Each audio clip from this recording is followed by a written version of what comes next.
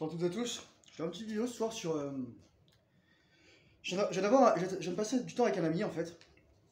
Malheureusement, cet ami est encore accro à la masturbation, à la pornographie. Et euh, et j'ai beau l'aider, je je peux pas, je peux pas être euh, là tout le temps pour lui et lui, sortir la main du slibard lorsqu'il décide de se martyriser. Et, donc je voulais faire cette vidéo justement sur euh, la, la question de d'un sujet qu'on a abordé ensemble, la confiance en soi et les femmes. Comment la rétention finalement affecte tout ça. Il faut savoir que lorsque vous retenez, en fait, il se passe plusieurs choses. Déjà, pourquoi votre confiance en soi augmente? J'ai un ami qui me disait Ah, moi j'ai l'impression de marcher euh, comme un Mac dans la rue, tout ça. Euh, je regarde les gens dans les yeux, etc. Je fais, mec, tu reviens à ton état basal d'homme en fait. Pourquoi c'est comme ça? C'est comme ça parce que vous n'avez plus rien à cacher d'une certaine manière.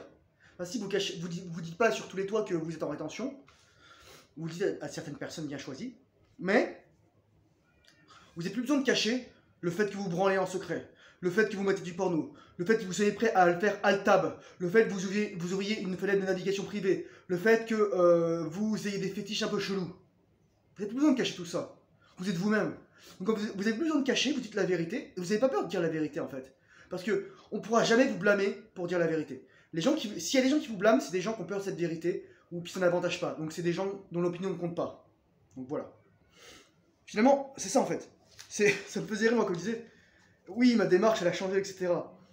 Et votre physique aussi va changer lorsque vous retenez. Si en plus vous transmettez l'énergie, vous faites une activité sportive et, physique, etc. Vous êtes en mode, ok, là je suis un Mac, là mon physique change, j'ai des muscles et tout. Enfin voilà je, je, je prends soin de moi. Vous êtes fier de vous-même. Et comme vous êtes fier de vous-même et que vous donnez de l'amour, vous avez beaucoup plus de confiance en vous. Comment cette confiance en fait va ressortir euh, vis-à-vis des femmes?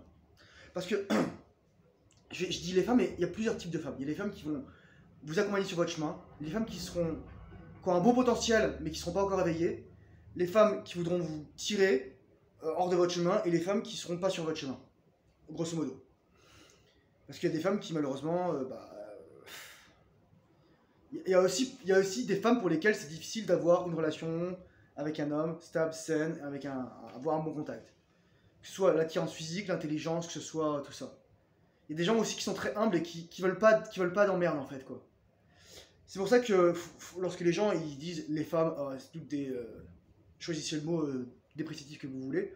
Je fais non, il y a des femmes qui font du bruit, qui disent beaucoup de merde et on a aussi nous en général lorsqu'on va sur les applications de dating ou si on rencontre des femmes, on voit que c'est c'est un peu, je dirais pas la lie de la société, mais c'est un échantillon très particulier.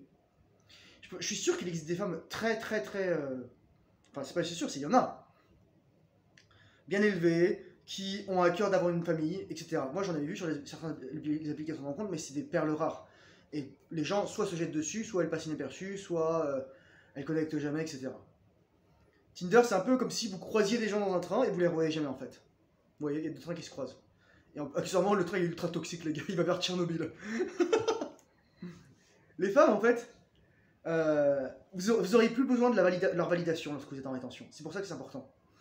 Parce que nous, les hommes, on a, un ego euh, qui, adore la, validation et l'attention. D'une certaine manière. On veut la validation des femmes et en retour, les femmes veulent notre attention. Les femmes veulent euh, de l'attention émotionnelle et nous, on veut de l'attention sexuelle. Et il n'y a rien de plus flatteur pour l'ego masculin que de dire qu'une que- qu'une femme te dise Oh, Thomas, ta barbe, elle, elle a trop poussé, ça, ça va vraiment bien. Oh mon dieu. Le- le true story, euh, c'est ce que quelqu'un m'a dit hier soir.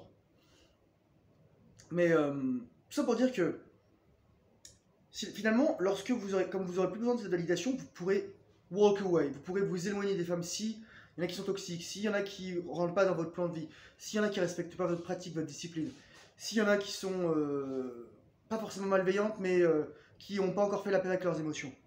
Parce que finalement, c'est ça. Le plus dur, en fait, c'est parce que c'est très facile de, de devenir misogyne et de bouffer la red pill et de dire que toutes les femmes sont woke et que c'est le bordel. C'est sûr que la société n'aide pas. C'est sûr que la, psychologie féminine n'aide pas, dans le sens où une femme ne va jamais chercher à s'améliorer comme un homme cherche à le faire. Parce que même la, la, femme la plus. euh, les femmes les plus. On va dire, quand même. Même les.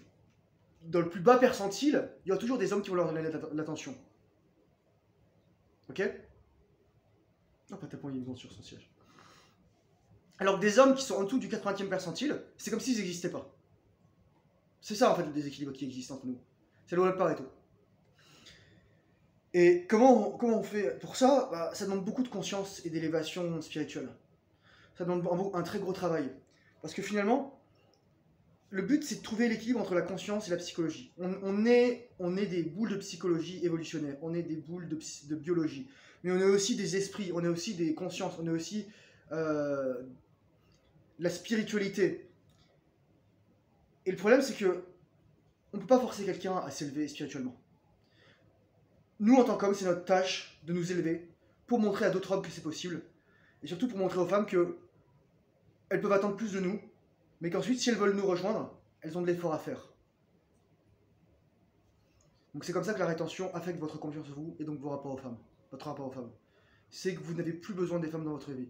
Et même si, dans le pire des cas, vous ne transmettez pas votre descendance, vous aurez vécu en accord avec vos principes. Courage, force, honneur, beaucoup de masculinité, beaucoup d'amour, beaucoup d'amitié, beaucoup de lumière. Bon courage sur votre chemin. Bye bye.